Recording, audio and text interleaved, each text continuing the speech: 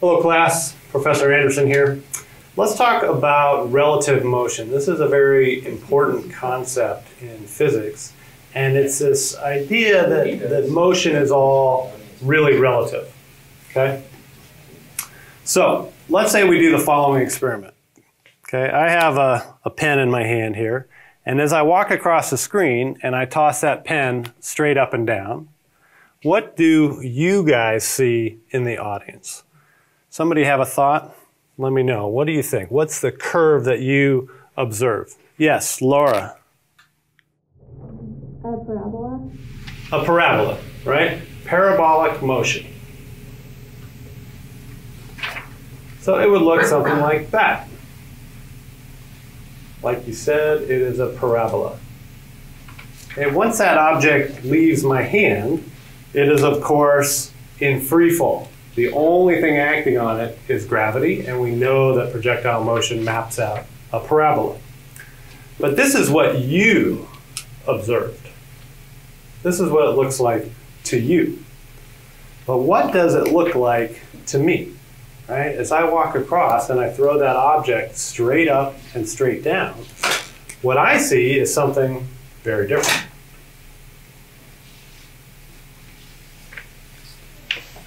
To me, it looks like that thing went straight up and straight down.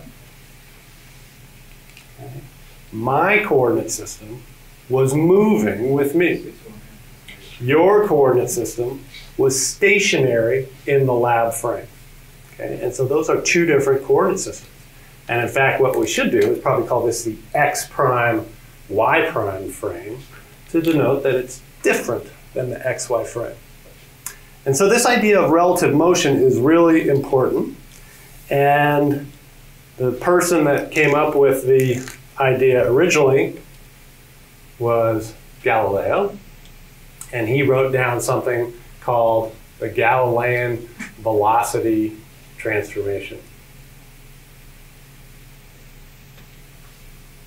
And we're going to see how that works. Okay, let's say we have two different uh, observers. That could be like me and you. And S is the stationary observer. That's you. S prime is the moving observer. That's me. Okay, and I am moving at a speed v naught.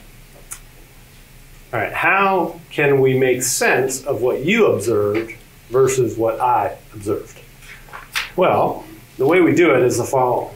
Let's draw an origin for the S frame, and let's draw a different origin for the S prime frame. Okay, and we know that the S prime frame is moving along relative to the S frame. And it's in fact moving at speed v naught. So in a time t, it will traverse a distance v naught t. Okay, just increases as a function of time.